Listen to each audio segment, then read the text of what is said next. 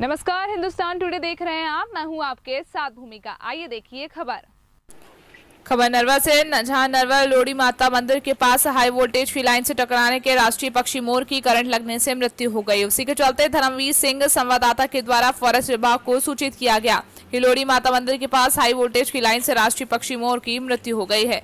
उसी के चलते मौके पर वन विभाग के कर्मचारी और राष्ट्रीय पक्षी मोर को पुलिस प्रशासन की मौजूदगी में वन विभाग के कर्मचारियों को राष्ट्रीय पक्षी मोर को सौंप दिया गया।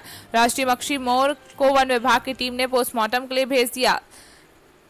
संवाददाता धर्मवीर सिंह कुशवाहा की रिपोर्ट।